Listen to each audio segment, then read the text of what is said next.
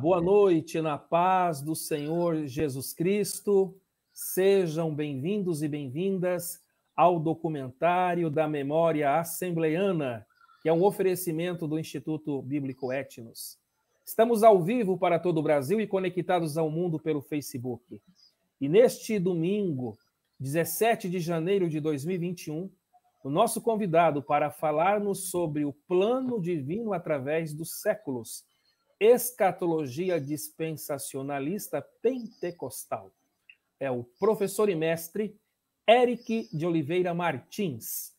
Ele é mestre em ciências da religião pelo programa de pós-graduação da Universidade Metodista de São Paulo, pós-graduado em História e Cultura do Brasil pela Universidade Municipal de São Caetano do Sul tem também pós-graduação em metodologia do ensino da história, com ênfase na Idade Média. Outro sim, ele é pós-graduado em metodologia do ensino da história e geografia e formado em história pela Universidade do Grande ABC, formado em teologia pelo Seminário Betel Brasileiro em Santo André. Vou fazer uma correção aqui sobre a pós-graduação em metodologia do ensino da história e geografia. Ele é pós graduando, ok? Isso. É isso mesmo? Isso mesmo, pastor Éder. Então, professor Eric de Oliveira Martins, seja muito bem-vindo ao documentário da Memória Assembleiana e, primeiramente, muito obrigado por aceitar o nosso convite. Muito obrigado, pastor Éder. É, eu agradeço ricamente a oportunidade. Né? Para mim é uma honra de estar aqui participando né, dessa live. Já acompanho o senhor há um bom tempo, né? E também a página das Assembleias de Deus. Então, para mim é muito gratificante. Eu agradeço aí a oportunidade, né? E que nós tenhamos um bom papo aí durante essa hora que iremos conversar. Olha, eu não posso deixar de cumprimentar minha esposa, a missionária Leila, que está mandando aqui a paz do Senhor, e também a professora Marina Santos Correia. Ela está mandando a paz do Senhor à minha pessoa e também parabenizando o professor Eric, porque ela acabou de comprar o seu livro. Ai, que, que, honra, hein? Que honra. O senhor conhece a Marina, né? Conheço, referência, referência, que honra. A católica mais assembleiana de nossa Mais parte. assembleiana, né? Como disse o nosso estimado Gideon Alencar, a católica mais assembleiana que existe. Conheço, uma honra. Então, vamos, vamos tocar o barco, porque é o seguinte, queridos internautas, eu tenho aqui em mãos, da editora Recriar, este livro, que é fruto da dissertação de mestrado, feito com muito carinho durante os anos de pesquisa.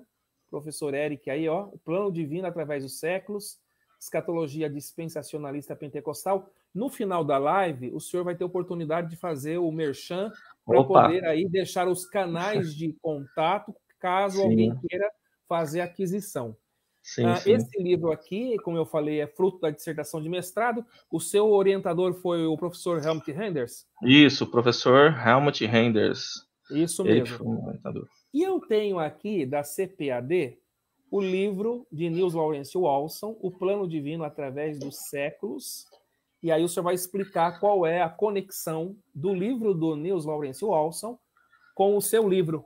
Isso. Ok, professor? O senhor vai ter tempo para fazer essa essa conexão aí entre a sua obra, por sinal, é uma obra de grande relevância, também tenho esse livro, tenho lido ele, tem sido de grande importância para as pesquisas, e vamos tocar o barco de acordo com a nossa pauta de perguntas. Internautas, Perfeito. vocês podem participar com comentários, com é, curtidas no like, se desejarem compartilhar, podem compartilhar, se assim quiserem sempre de forma respeitosa, cortês e com a boa educação que a ética e a vida cristã recomenda.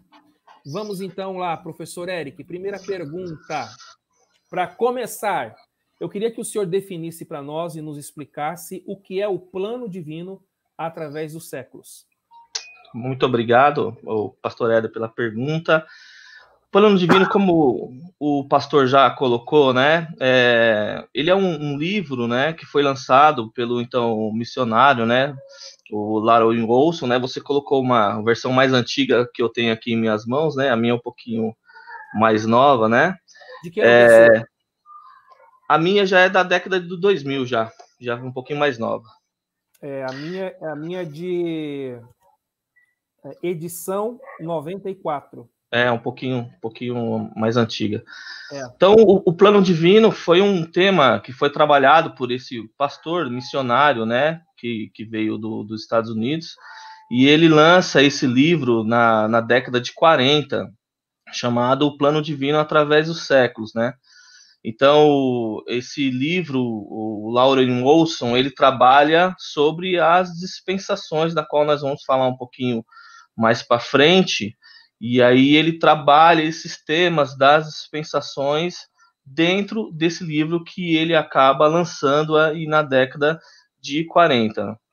A minha ênfase, como a gente vai colocar, né, logo logo, é, realmente foi em cima do quadro que o Lauren Olson também lança juntamente com esse livro, né? Hoje é, se você for comprar o livro pela CPA dele, eles vêm separados. Esse, esse, quadro não faz mais parte do livro, né? O quadro você acaba comprando separado. Mas o plano divino, esse título plano divino, ele nasce realmente com Aura e Olson na década de 40, e aí ele se populariza, né? Brasil afora. É, esse livro que, se você pegar o encarte aí da própria CPAD, vende aí mais de 100 mil cópias, né? Então é um livro, é uma referência mesmo para os assembleanos e não só para os assembleanos pentecostais, mas se tornou referência aí para muitas igrejas e até igrejas é, consideradas aí tradicionais, né? Muita, muitas igrejas, é, muitos estudiosos trabalharam essa ideia do Lauren Osso, do plano divino através dos séculos, em suas igrejas, em seus estudos, em suas escolas dominicais, né? Então, o, o, o plano divino seria esse título, né, do, do livro do Lauren Wilson, né, que seria o trabalho das, das dispensações, né? Ok. Queridos internautas, quem está chegando agora, estamos recebendo o professor Eric Martins, que é professor e mestre pela Universidade Metodista de São Paulo, ele lançou seu livro pela editora Recriar, O Plano Divino através dos Séculos, Escatologia Dispensacionalista Pentecostal. A sua defesa ocorreu em que, em que data? Ela, ela ocorreu em maio de 2019, pastor Éder. Maio de 2019. Ah, maio de 2019. Então tá Isso. Bom. Ok. É, aqui no seu subtítulo, o senhor fala sobre uma escatologia dispensacionalista. Professor Eric, o que seria o dispensacionalismo? O dispensacionalismo é uma, uma construção, né, uma, uma teoria, né, que foi lançada em meados do século XIX, né? É, então ele trabalha a ideia que o mundo, né, a história da humanidade, né, ela foi dividida em dispensações, mais especificamente em sete dispensações, né? Então você tem lá, primeiramente, a inocência, depois consciência, governo humano, promessa, lei, graça e milênio. Então, seriam essas sete dispensações. Então, o dispensacionalismo, essa ideia dispensacionalista, ela nasce no, no século XIX. Na verdade, nasce não, ela sistematiza no século é no século XIX e ela se propaga né, com, essa, é, com essa ideia, essa ideia se propaga e entra no século XX até onde nós estamos hoje. Então, o dispensacionalismo em si, ele é trabalhado, essa a ideia são as sete dispensações.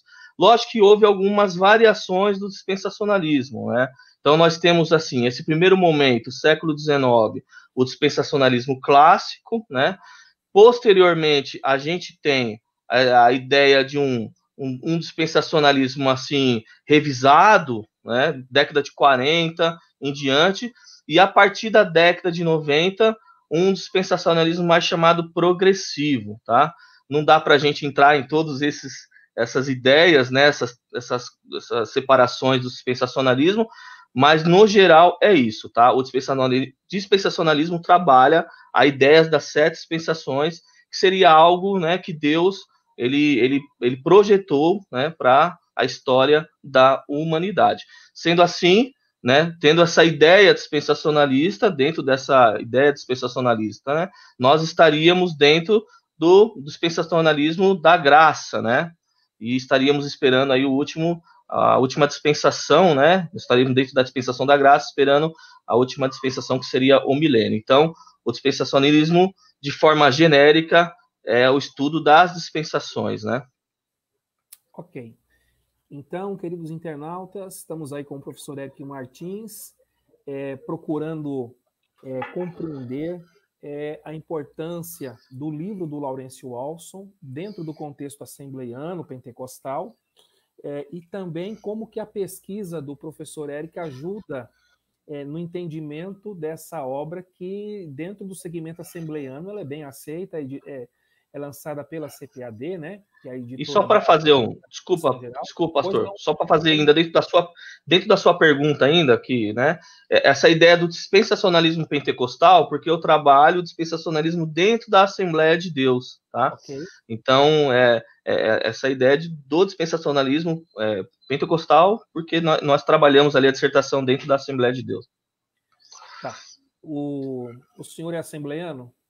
Assembleiano. Assembleiano, ok. Assembleiano. E, então, é, continuando nessa mesma, é, essa mesma linha de, de raciocínio, professor Eric, ah, qual então a relevância, a importância da teoria do dispensacionalismo para a construção desse imaginário escatológico, é, sobretudo no contexto pentecostal? Perfeito, perfeito pergunta, pastor a, a, importância, nós colocamos né, a, a dissertação é, e depois realmente trabalhamos no livro, essa construção desse imaginário, né, é, vamos dizer assim, dessa escatologia dispensacionalista pentecostal. Porque quando essa teologia, essa teologia que ela acaba sendo sistematizada no século XIX, né, ela acaba, ela acaba entrando de uma forma muito clara, e depois a gente vai explicar um pouquinho sobre isso na Assembleia de Deus americana, né, Assembleia de Deus estadunidense. Então, é, essa, essa teoria dispensacionalismo, ela acaba entrando dentro dessas assembleias americanas e, consequentemente, ela acaba vindo para as Assembleias de Deus no Brasil. Então, todo o imaginário, vamos dizer assim, toda a construção escatológica das Assembleias de Deus no Brasil se deve ao dispensacionalismo. Lógico que nós temos que fazer esse, esse contraponto aqui, né? As dispensações, elas não trabalham só a escatologia. As dispensações trabalham as eras passadas, como a gente falou aqui, né, da dispensação da inocência lá com Adão e Eva, né, a da consciência, da queda do homem, do governo humano e assim por diante. E ela entra é, tanto na dispensação da graça da qual nós estamos, e ela acaba chegando né, nos estudos até a dispensação do milênio. Então, essa escatologia que eu coloco assim, esse, essa criação do imaginário, se deve porque desde a criação da Assembleia de Deus brasileira, lá em mil, é, no começo do século, né, é, essa, esse dispensacionalismo e essa escatologia que nós podemos colocar pré-tribulacionista, ela faz parte da história, né? Ela faz parte do, vamos dizer assim, do credo assembleano. Então, foi se construindo esse imaginário, né? Esse imaginário escatológico, né? Pentecostal dentro das Assembleias de Deus brasileira, através do que veio do século XIX, da criação desse dispensacionalismo. Então, quando nós olhamos para e a gente vai trabalhar um pouquinho isso, falar, mas quando nós olhamos para os primórdios da Assembleia de Deus, mesmo dos estudos ou dos jornais, a gente vê que essa construção está bem clara, já está enraizado essa questão das dispensações, do pré-tribulacionismo, do arrebatamento da igreja, já está estruturada desde os primórdios da Assembleia de Deus. Então, essa construção, essa ideia, ela já praticamente nasce junto com o nascimento, vamos dizer assim, das Assembleias de Deus no Brasil, influenciada pelas Assembleias de Deus estadunidenses. Então, professor Eric, me corrija se eu estiver é, é, equivocado. O, seria, então, o, o dispensacionalismo uma tradição construída? Sim, seria uma tradição construída. E aí a gente tem que analisar com muita calma, né? e com todo assim um respeito, e a gente olha por um historiador chamado Eric Hobsbawm, né? Eric Hobsbawm, ele escreve um livro sobre a invenção das tradições, né? E aí nós podemos falar que uh, o dispensacionalismo ele foi uma tradição construída, né?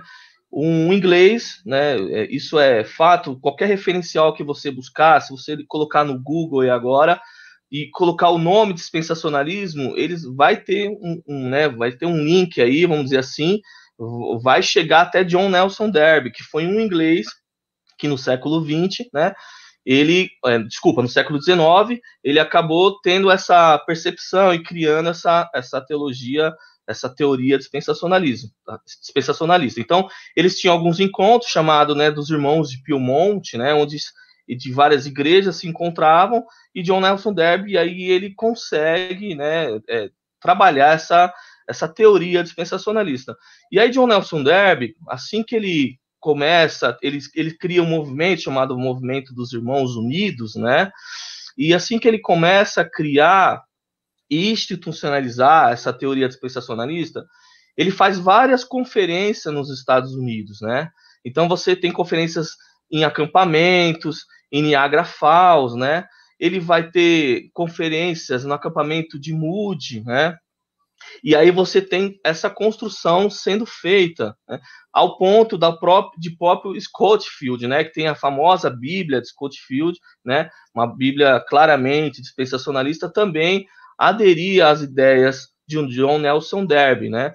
Mas o que nós temos que colocar, e como eu fui na dissertação, e, eu, né, e a que a gente acaba colocando no livro, é que eu faço uma volta até o início da igreja cristã para a gente ver se nós encontrávamos, né, é, algo parecido com o que, com o que John Nelson Darby dizia, né? Então, é, nesse ponto, eu uso é, né, para para estar tá estudando sobre isso, né? E, e, nesse, nesse a gente acaba encontrando algumas coisas, uma epístola de Barnabé mesmo. Barnabé vai falar sobre sete períodos da qual Deus reservou, né? E aí acaba entrando é, Idade Média, tudo. E aí chega até John Nelson Darby. O que nós temos que colocar aqui, e isso é muito claro, né? Quando a gente acha dois, dois referenciais teóricos falando sobre essa questão do dispensacionalismo não ter nascido com John Nelson Darby, mas que ele teria visto, né, e teria até feito uma cópia de dois jesuítas do século XVI, que se chamariam Belarmindo e Ribeira, né? Então, é, esses dois jesuítas foi uma época até próximo ali de posterior, vamos dizer assim, a Lutero, onde ele é, havia uma, vamos dizer, uma super crítica que estava acontecendo referente ao Papa, tudo aquilo que o Papa era o anticristo, né, que a gente vê lá na questão da reforma protestante, e esses dois jesuítas, eles acabam fazendo uma defesa do Papa, e eles acabam sendo os pioneiros ali, vamos dizer, os embrionários dessa questão do, da teoria pré-tribulacionista e do dispensacionalismo, que para mim não invalida em nada, né? Não invalida em nada. Eles foram os pioneiros a, a discutir essa ideia do pré-tribulacionismo, do dispensacionalismo, que John Nelson Darby olha, né, acaba agregando e ele sistematiza. Então, ele faz essa construção, né? Muitas vezes a gente se pega, fala, ah, o tal católico, tal, mas não importa de quem foi a ideia, ou de quem sistematizou, ou de quem nasceu. A questão é que foi, foi realmente é, foi pensado sobre isso, né? Foi estudado, na verdade, de, e aí John Nelson Darby acaba né, espalhando, sistematizando. Mas o que nós temos que colocar é que não nasce com ele, né? O que nós olhamos muitos referenciais teóricos é que essa, essa, essa teoria, né, teria nascido com ele. Mas isso é muito claro que não nasce com ele. Ele acaba agregando de outros de outros referenciais aí teóricos sobre o que, que é esse dispensacionalismo. Então, seria assim uma, vamos dizer assim, uma tradição institucionalizada, né, por John Nelson Darby. E ó, se torna algo que hoje, né, é, é muito estudado, né, muitas igrejas têm essa ideia da teoria do dispensacionalismo em seus credos, não só a Assembleia de Deus, mas como você encontra em várias igrejas.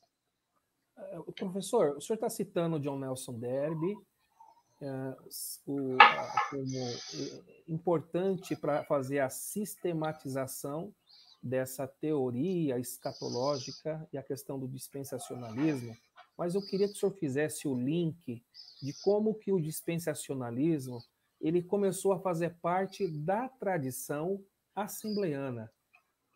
Sim, perfeita pergunta, pastor.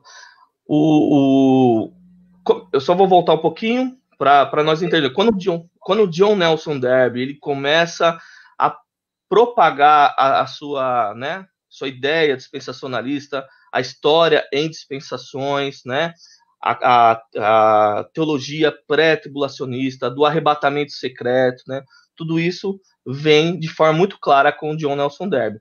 Quando ele chega nos Estados Unidos e tem essas conferências, os missionários que por lá passaram por esses acampamentos, por essas conferências, acabam influenciando os missionários que vieram para cá, para o Brasil. Isso se torna muito claro, e isso eu faço na minha no, no, livro também, há uma parte sobre isso, quando eu vou analisar os jornais oficiais das Assembleias de Deus. Porque o que nós temos, né?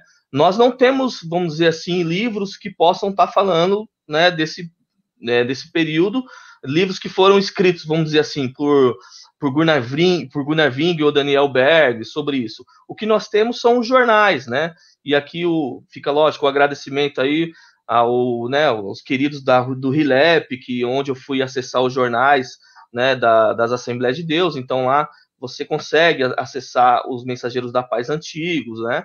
A, o Boa Semente. Então é, fui, fui pesquisar nesses jornais o link, né? Como que poderia ter ocorrido esse link. E nos jornais, né, quando nós vamos analisar, você tem estudos, né, você tem pregações, você tem testemunhos. E lá nesses jornais, muitos estudos falavam sobre as dispensações. Esses primeiros jornais falavam sobre a volta de Jesus, sobre as dispensações. Tá? Então, isso é muito claro é, fica muito claro que com esses jornais, né, esse, com, com, com esses estudos, porque as pessoas, é, como que os membros assembleanos, aqueles lá né, de trás, lá do começo do século, eles ficavam sabendo as notícias, os testemunhos, pedidos de oração, pelos jornais oficiais das Assembleias de Deus. Então, havia essa, é, é, vamos dizer assim, essa conexão, né? Então, através desses jornais, os estudos eram feitos, né? Então, através desses jornais, é muito claro que o dispensacionalismo, né, essa ideia das dispensações, ela chega até nós, chega até a Assembleia de Deus brasileira. Então, você tem lá é, um jornal que eu analisei da década de 20, um, um sermão de despedida do Samuel Niston, e sobre ele ter, sobre ele estar indo embora da Suécia, né, o sermão de despedida dele. Eu não lembro agora o ano do jornal, mas no livro isso está especificado. Então, ele, ele, nesse sermão de despedida, ele fala sobre a dispensação da graça, ele fala sobre a dispensação do milênio, da qual nós iremos reinar com Cristo, ele fala sobre a volta de Jesus. Ele diz assim nesse sermão que ele estava vendo um movimento de muitos judeus estarem voltando é, para a terra, né? Nós estamos falando aí década de 20, os judeus a nação de Israel só viria a ser oficializada em 1948, né? Então, você percebe que isso já vem com, com, com missionário, né? Influenciado, né? Por esses encontros e, e, influenciado por esses estudos que John Nelson Darby já tinha feito tanto na Europa, né? Nós temos lá na própria Inglaterra, como ele já tinha feito nos Estados Unidos nessa série de conferências. Então isso já tinha já tinha se espalhado, e aí, lógico, com a Bíblia de Scottfield, isso também acabou se enraizando mais, né? Com o acampamento bíblico de Moody, isso acabou se enraizando mais. Então, isso tudo fez com que o que aconteceu lá e com, né, vamos dizer, com essa, essa questão do dispensacionalismo viesse até chegar nos brasileiros que acabaram sendo, né, influenciados aí por esses estudos, por esses missionários e permaneceu aí até os dias de hoje. Eu vou pedir a sua permissão para mostrar algumas figuras do livro. O senhor permite? Lógico, pastor, por favor. Tá. Eu, com a sua permissão, eu vou aqui abrir algumas páginas e mostrar para os internautas que o seu livro ele é cheio de figuras. Sim, sim. E elas são, elas vêm com as suas respectivas explicações com base na sua pesquisa. Deixa eu virar aqui. Né? Deixa eu ver Isso. se agora aqui, aê. Deixa eu acertar aqui. Tá? É o seguinte, eu estou mostrando a figura porque, por exemplo, eu estou na Assembleia de Deus há 48 anos. O senhor também é assembleano já de longa data. E a, eu, eu, mostrei no começo do, do, da live o livro da CPAD, tem o seu livro que é a sua pesquisa, mas eu queria que o senhor falasse um pouquinho do quadro. Perfeito. As figuras. Qual a importância do quadro o plano divino através dos séculos para as Assembleias de Deus. Perfeito, pastor. O, o quadro, eu vou é, contar um pouco da história, como que me foi apresentado e como chegou na mão do Helmut, né? Ok. O Helmut, eu... que está chegando agora, foi o seu professor orientador ali professor na Umesp. Né? Na Umesp, isso, professor isso. orientador, né?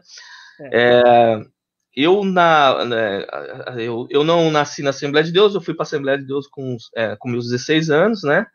E lá, por volta de 97, 1997. É, e foi onde eu conheci minha esposa, nasceram meus filhos, tudo, né? E aí, de um período, é, eu até faço uma homenagem para ele no livro, né? O irmão Carlos Fabiano, ele me mostrou esse quadro, né? Que era usado, né? É, para mostrar sobre a história é, da humanidade, sobre as dispensações, que era para falar sobre as tribulações, a grande tribulação, milênio, céu, inferno, bodas do cordeiro. Esse quadro era para é, dar qualquer tipo de estudo, né, dentro da, das Assembleias de Deus, né? E aquele quadro sempre me chamou muita atenção. E aí, quando eu entrei na, na, na UMESP, um dia eu levei, é, porque até então eu, eu estava trabalhando a questão do dispensacionalismo com o John Nelson Derby, né? E aí eu levei esse quadro, é, esse mapa, nós também podemos chamar assim, para o é. professor Helmut Renders, né? E ele ficou, imagina, né? Da cultura visual, um dos maiores nomes que nós temos da cultura visual no Brasil. Ele ficou, eu posso usar essa palavra, bem doido mesmo pelo que ele estava vendo, né? Porque ele, ele percebeu que ali e ele estava ele estava diante de um de, de uma figura, né, de uma cultura visual pentecostal, né?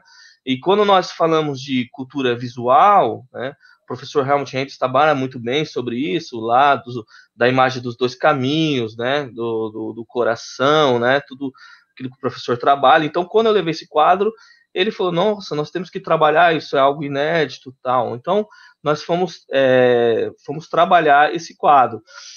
E esse quadro ele é algo assim muito interessante. É, ele também nasce é, com, com, vamos dizer assim, a forma que nós temos hoje. Ele nasce com, com Olson, né?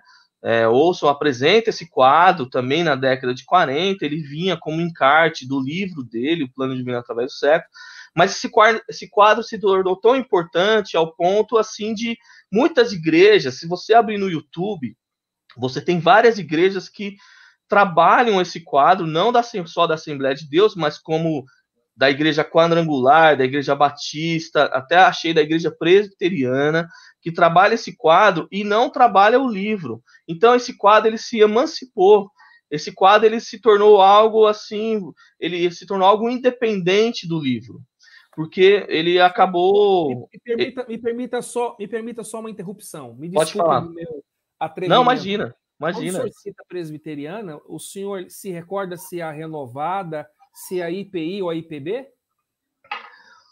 Olha, nas pesquisas que eu fiz do YouTube, eu sinceramente eu não eu não vi se era renovada, se era porque foi uma série que eu fiz uma pesquisa rápida do YouTube para ver quais igrejas estavam trabalhando isso.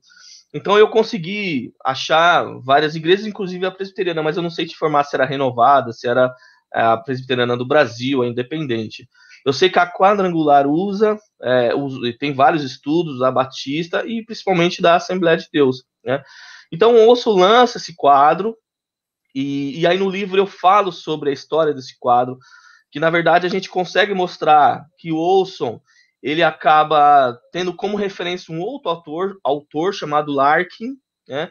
Esse autor, ele faz uma série de desenho, eu coloco no livro também, uma série de desenho e lança em 1917 com vários aspectos. Ele era um ótimo desenhista. Um dos desses desenhos que, você, que o pastor mostrou, de, de, que mostrou nessa página, é, é, do Larkin.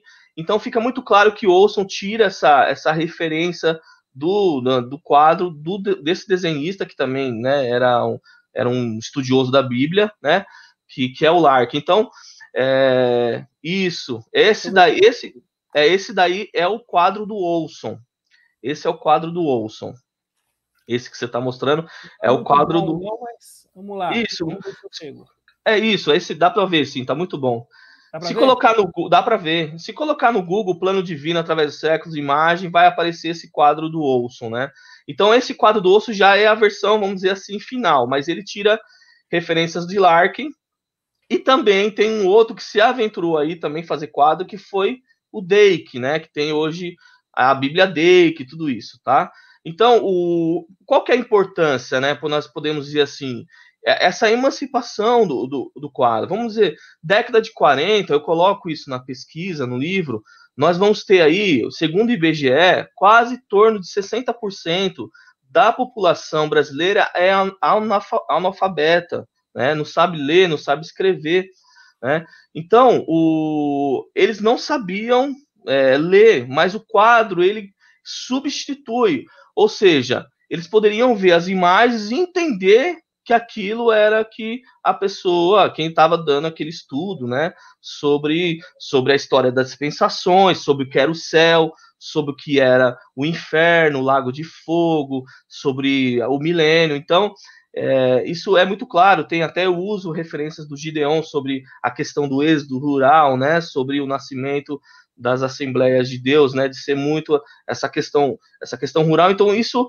era muito claro é, sobre esse índice. Então as imagens ficam muito mais fáceis, né? E eu uso uma, eu uso uma, um texto do Jacques Legoff, que é outro historiador, que ele fala sobre o Papa Gregório, né? Ele fala sobre o Papa Gregório, sobre pintar as igrejas, porque é, vendo as imagens eles interpretariam o que, que era a palavra de Deus. Né? Então, era uma leitura das imagens. Então, isso, da mesma forma que foi com o Papa Gregório na Idade Média, isso aconteceu também no século XX com o quadro Plano Divino através dos séculos.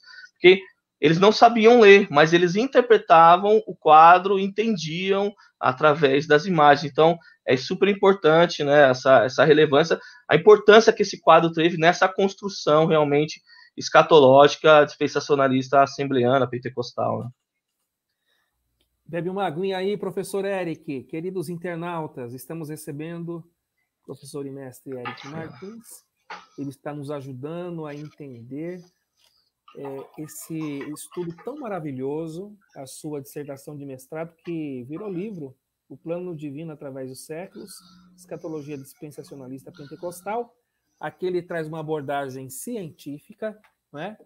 e aqui no livro do Nils Lawrence Walson, ele traz a corrente teológica da tradição assembleiana.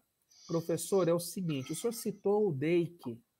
Se eu não me é, o senhor citou o Dake. Citei, citei o Dake. É, daria para o senhor falar um pouquinho para a gente o que seria o caso da Bíblia Dake? Sim. É até interessante que a primeira vez que eu vi sobre essa questão do caso foi na página da Assembleia de Deus, no blog do Mário Santana. Né? E até na época que ele fez a live, eu coloquei que me ajudou na dissertação, e é verdade porque eu fui entender sobre o que tinha acontecido, né?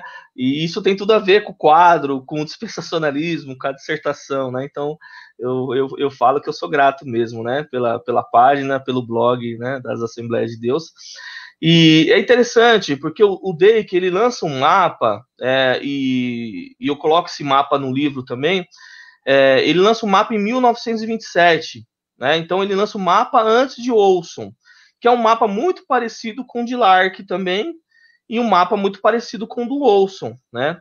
Então, é, até então, eu acho que o pastor deve lembrar, os amigos internautas que estão assistindo, é, que a Bíblia D, que ela era editada pela Atos e pela CPAD, né? E vinha um mapa na Bíblia D, que eu também tenho essa foto é, no meu livro, vinha um mapa que era o mapa do Olson, né? Não era o mapa do Dake. Então, houve algum problema nesse sentido aí, né? Que a, a Bíblia, a, a CPAD não lançou mais a Bíblia Dake, né? Ela, a, a Bíblia Dake continua a ser lançada pela, pela editora Atos, porém, é, esse mapa não está mais. É, é, não, não vem mais, esse mapa do osso não está mais junto da, da Bíblia Dake, né? Então é interessante a gente ver que é, essa cultura visual, né? Esses mapas estavam né, em pleno vapor aí, século, década de 20, 30, 40 com osso, e eles foram né, fazendo parte aí dos estudos né, nas igrejas. Lógico que do osso acabou se tornando a referência aí, a referência maior nesse sentido, porque o que nós vemos aí nos estudos é, é, é do quadro do osso, mas Uh, o do Deck também foi muito usado. Eu, eu não sei, sinceramente eu, eu, não sei. Eu procurei algumas referências, algumas coisas eu li, vi até filhos do Day que tem no YouTube falando sobre é, essa questão da CPAD, de não ter lançado, né? Tem algumas questões né, do próprio pastor Dake, né, sobre algumas acusações, né? Mas é, como eu não estudei a fundo sobre sobre o que teria acontecido ou qual seria esse problema, né? É, a gente, eu não posso ser leviano de colocar informações falsas aqui. A questão é que houve um problema, porque eu tenho a foto, eu tenho, a, vamos dizer assim, conheço pessoas que têm a Bíblia DEIC com a CPD que leva o mapa do Olson e depois essa Bíblia não foi, não é, esse mapa não foi feito mais junto com a Bíblia DEIC e a CPD, a CPAD saiu de campo. Então, houve algum problema nesse sentido aí. Mas é interessante entender que até o próprio DEIC tinha um mapa pra, para estudar, né, é, juntamente com a Bíblia de estudo, né, que leva o seu nome e tudo, né. É, professor, o seu livro ele tem 166 páginas, três capítulos, e no capítulo 3, o senhor cita um referencial teórico que é o Erwin Panofsky. Isso. Eu queria perguntar para o senhor como que esse historiador, o referencial teórico aqui, que é o Erwin Panofsky, como que ele, com o seu método de leitura de imagens, ajudou na interpretação do quadro do Olson? Muito boa pergunta, pastor Éder. É, o Panofsky é, é referência na história é, das imagens, né, na história, é, historiador da, da arte, né, quem me apresentou ele, né, o professor Helmut, e o professor Helmut também, né, nos auxiliou nessa, nesse, a entender esse método e a gente trabalhar, né. Existe uma divisão no quadro que é totalmente mérito do professor Helmut, dele pegar o quadro e, né, e, e, e, colocar né, por, por partes, né? Então, vamos dizer assim, aquela linha A, né, com conjunto 1, 2, 3, 4, 5, linha B, para a gente e, é, acabar estudando o quadro por parte, porque o terceiro capítulo é isso, né? Então, o que, que seria esse método do, do Erwin Panofsky, né? Essa interpretação do quadro ou de, das imagens de uma forma do método, né? Pré-iconográfico, né? Iconográfico e iconológico, né? isso. Fala, é, é, isso. isso é isso aí. Te, orientou no mestrado? No, tô no mestrado. O professor Helmut brilhantemente faz essa essa divisão. E aí vocês podem ver que né, ali que tá um, né, um A, um B, um, um B2, um C, 2. Então a gente consegue no terceiro capítulo, né, parte a parte entender o que, que é o quadro, né, qual esse método, né? E com essa é, com essa leitura que o professor Helmut fez do quadro, né, de dividindo ele em partes, a gente fica muito mais fácil, né, esse método. Teve uma, uma, um ano passado, eu estive no Rio de Janeiro, na, na PUC, apresentando esse trabalho, né, na Antepress, e eu apresentei esse método, né, e tinham lá um, né, os professores, né, e eles ficaram bem impressionados, o professor Helmut estava lá, e eu falei, ó, o mérito aí é todo do professor Helmut, e muita gente ia começar a, a trabalhar imagens dentro dessa divisão que o professor Helmut fez, que fica muito fácil a gente entender as partes principais, né, as partes secundárias, né, então, é, trabalhando dentro dessa ideia do Panofsky, e eu, é, eu é, gente, nós usamos nesse terceiro capítulo, né, essa ideia primeiramente pré-iconográfica, ou seja, quando nós olhamos o quadro, isso está bem analisado, as três, as três partes, né, lá no livro, quando nós olhamos o quadro e tratando da pré-iconografia do quadro, você entende o quadro como ele está. Você não entende é, as referências que estão ali, mas você vê um quadro, você vê uma nuvem, você vê um anjo lá, um homem, nem anjo, porque você não sabe, você coloca, é, é, você ainda está analisando de, pré, né, de forma pré-iconográfica, então você vê um homem com asas, né, uma pessoa com asas, você vê fogo, você vê é, você vê é, árvores, né? Então, é, isso é uma análise pré-iconográfica, né? É, quando nós partimos para a iconografia, a gente já começa a analisar alguns pontos, né? Então, a iconografia já te dá esse suporte para você falar, nossa, aqui é um anjo, né? Aqui é, tá, é, aqui tem um tanque lá de guerra, aqui já tem um céu com nuvens, né? Então você já começa a analisar a obra de uma forma muito mais clara. E a iconológica, você já analisa esse quadro de uma forma muito clara, né? Então, é muito que não que, que o Olson, vamos dizer assim, ele ele coloca no quadro e não está no livro com essa análise iconológica, né, sugerida por Panofsky, a gente encontra muitos referenciais dentro desse quadro que às vezes passa despercebido, né, é, por nós. Então, é, quando o Olson, eu vou dar um exemplo, ele coloca lá, é, ele coloca na, na, na, primeira imagem lá, né, a criação do mundo e coloca o mundo negro. O quadro não fala sobre isso, mas é muito claro que ele está nessa pintura está falando sobre a teoria da lacuna, né? Então você vê que ele vai colocando isso, mas não, não vai explicando. E a iconologia te ajuda. Né? Quando ele vai falar da criação, dos sete dias, cada, cada desenho, né, ele coloca de, um, de uma cor. Então você acaba analisando que a cada cor faz referência a um dia da criação. Então, quando falou do sol, ele pintou de amarelo. Quando ele falou da criação da, das águas, ele pintou de azul. Então, você vai analisando isso ponto a ponto e de forma muito clara e geral, né? Então, você acaba identificando o quadro, esses aspectos, e no aspecto geral, aqui é a questão do pré-tribulacionismo. Aqui, quando fala, quando ele mostra lá no desenho, é, a, a questão a, da ideia que ele não, ele não trata no livro, mas ele faz um pontilhado no quadro, como que na morte de Jesus, né? Aqueles que estavam no seio de Abraão é levado ao paraíso, então ele mostra isso no quadro. Então você acaba analisando. Eu estou, lógico, falando uma outra coisa, porque no quadro é muito, muito completo, né? Quando você quando se pega o livro, você vê que a gente analisa isso ponto a ponto, né, e isso se torna muito claro. Então, esse método Panofsky, que não só pode ser utilizado para a obra, como eu utilizei no quadro Pano Divino Através do Século, mas pode ser utilizado para qualquer obra de arte, né, ou qualquer imagem que a gente queira analisar.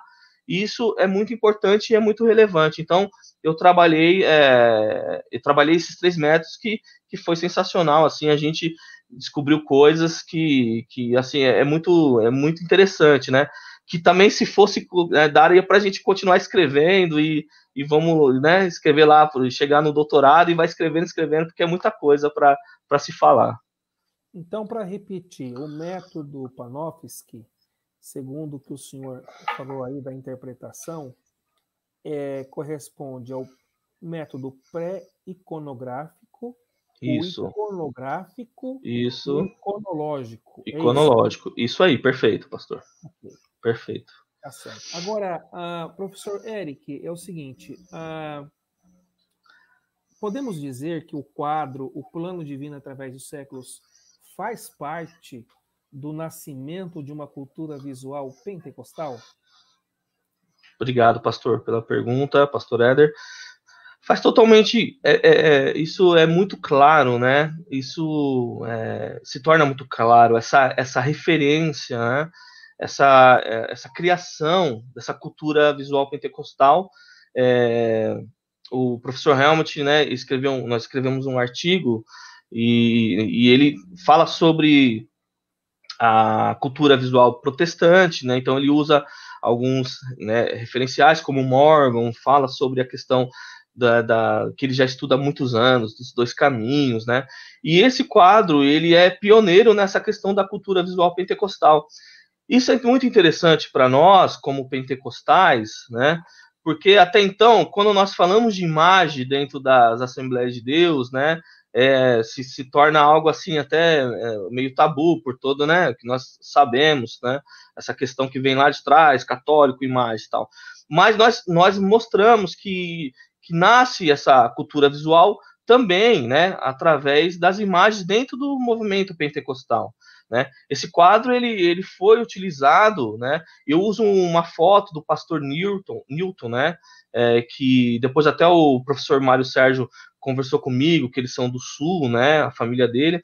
E, e, ele ensinando assim uma foto, ele ensinando um quadro na década de 60, um, uma foto em preto e branco, um quadro enorme, ele ensinando, né?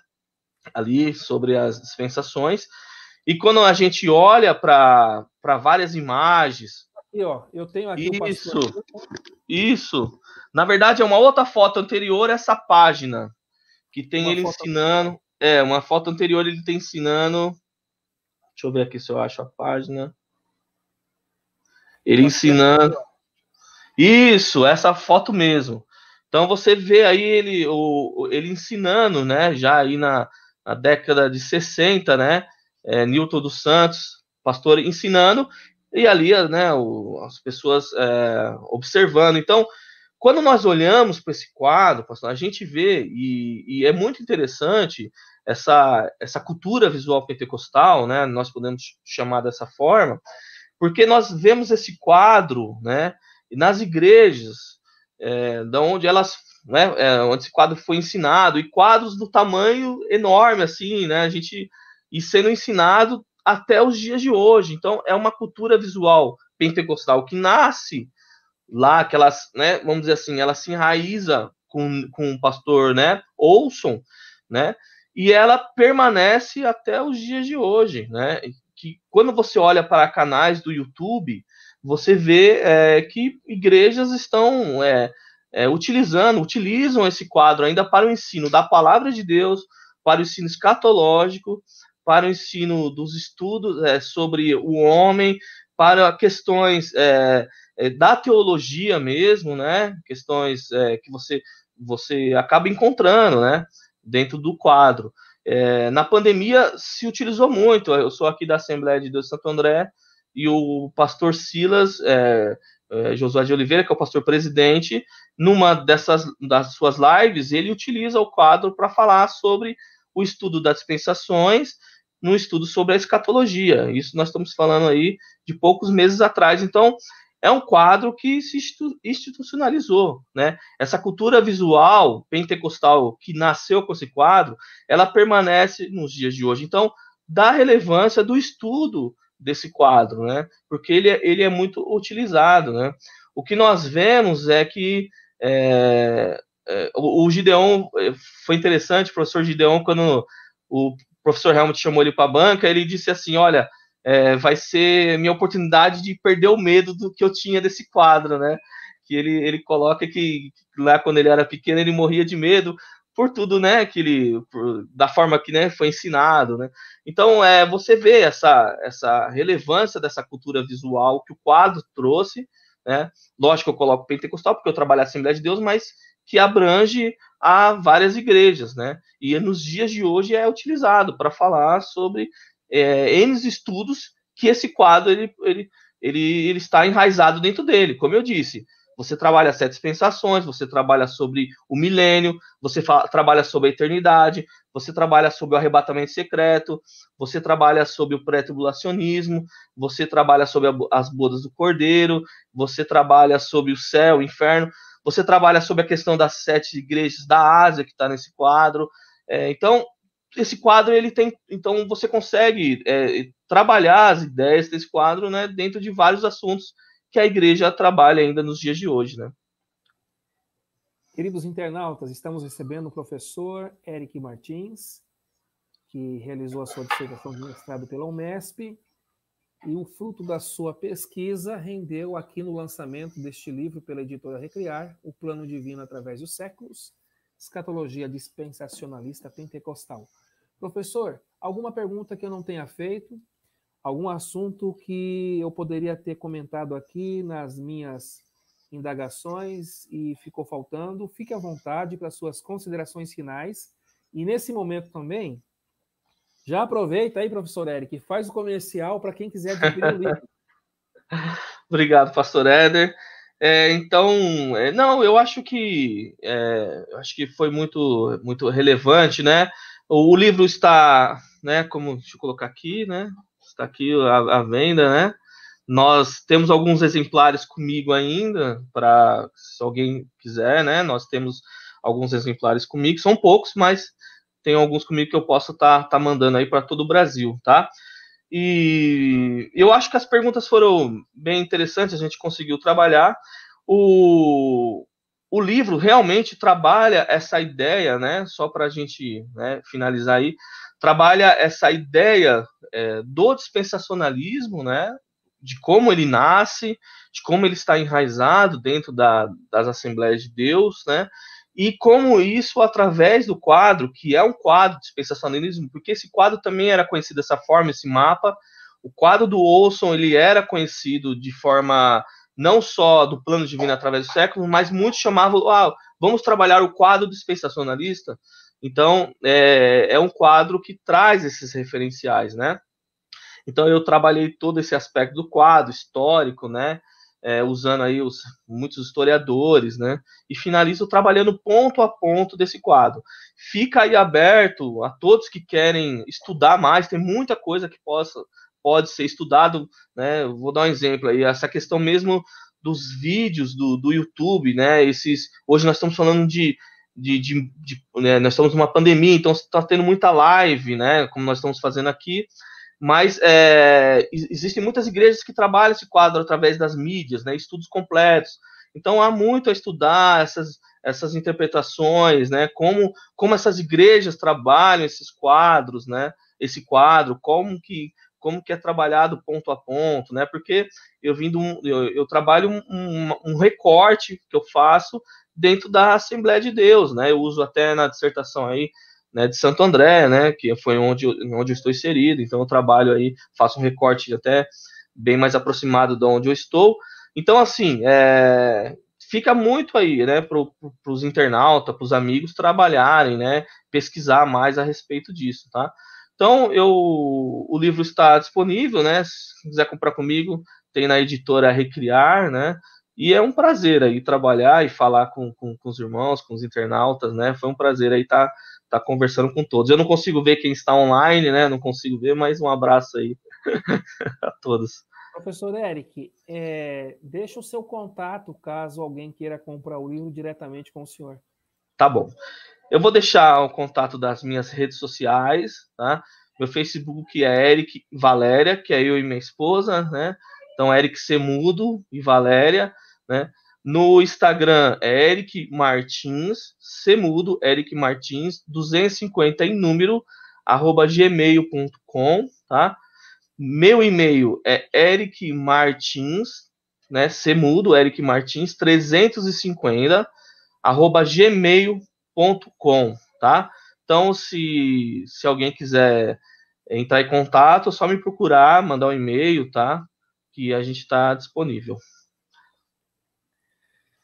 Infelizmente, chegou ao fim mais um documentário da memória assembleiana e agradecemos muitíssimo ao professor e mestre Eric de Oliveira Martins pela ótima entrevista e agradecemos, sobretudo, aos queridos internautas que ficaram até agora nos brindando com a sua audiência. Aguardamos vocês no próximo domingo, que é dia 24, às 10 da noite, horário de Brasília. A live será aqui mesmo, no Facebook do grupo do Memórias. Eu estarei recebendo o pastor Israel Alves Ferreira. O nome dele passa correndo aí no GC do vídeo. E ele vai falar para a gente sobre a história das Assembleias de Deus em Ilhéus, Bahia. Então, até lá, permitindo Deus. Obrigado.